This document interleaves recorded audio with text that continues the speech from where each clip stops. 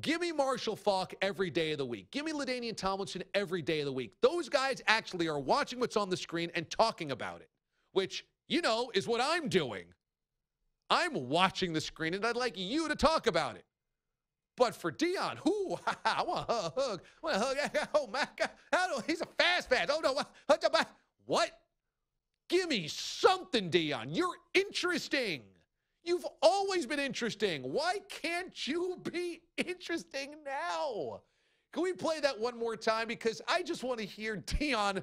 I want to hear another 40 seconds of Deion not saying anything because this is essentially what his career is now as a broadcaster. Minutes upon hours of not actually saying anything. This is Troy Apke. Oh, man, he can run.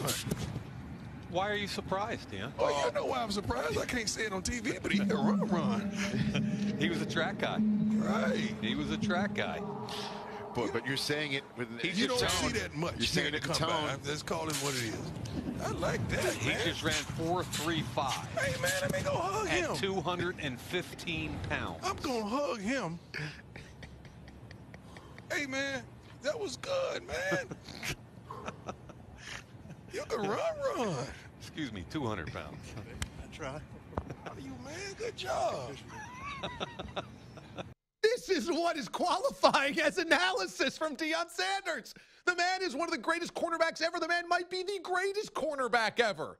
He is talking to another fantastic, potentially defensive back who run, run, according to Deion. Give me something, Deion. Hey, man, that was good, man. I, I'm not offended that it's a slow white guy joke. I'm offended that Deion never says anything interesting ever. you can run, run. That's not analysis. That is not qualifying as analysis. And in Deion's mind, he thinks he's doing his job. Somebody get in his ear and say, Deion, we need something meatier than this. Man, you can run, run.